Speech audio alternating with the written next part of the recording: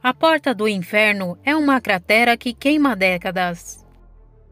Assim que é conhecida a cratera de Darvaza, localizada ao norte do Turcomenistão, uma ex-república soviética na Ásia Central. Com 69 metros de largura e 30 metros de profundidade, do interior da cratera emana um gás natural que queima décadas. A história mais contada diz que em 1971, vários geólogos soviéticos estavam perfurando o deserto de Karakum com o objetivo de encontrar petróleo. Nisso se depararam com uma reserva de gás natural que fez com que a Terra desmoronasse, formando três grandes sumidouros. Para evitar que o metano fosse liberado na atmosfera, uma teoria indica que os geólogos aterraram fogo em um dos sumidouros, pensando que iria queimar em questão de semanas. Mas especialistas dizem que não há documentos que afirmem essa versão.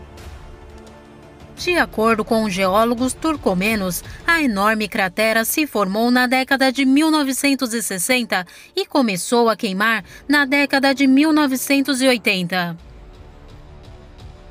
É inclusive controvérsia sobre se ela foi incendiada acidentalmente, como pela queda de um raio, ou se foi intencional.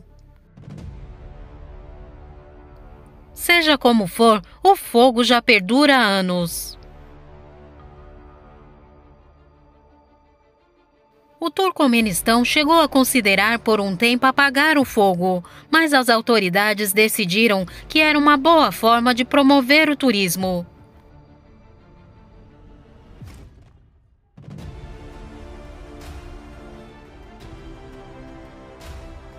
O Poço de Fogo que arrota metano se tornou uma das atrações turísticas mais populares em um país que recebe apenas cerca de 6 mil visitantes por ano.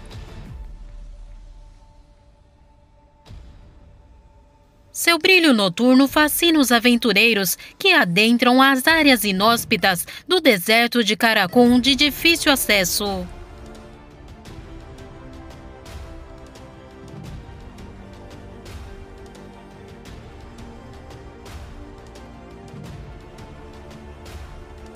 Ficar no fundo da cratera com uma roupa de proteção com a qual você parece um astronauta cercado pelo que chama de Coliseu de Fogo, é uma das experiências mais próximas de visitar outro mundo aqui na Terra que qualquer um pode ter.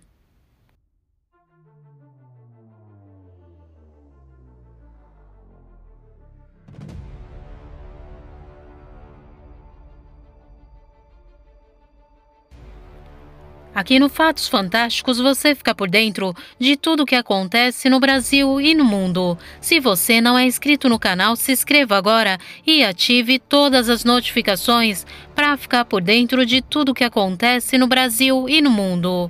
Muito obrigada por assistir até aqui e até o próximo vídeo.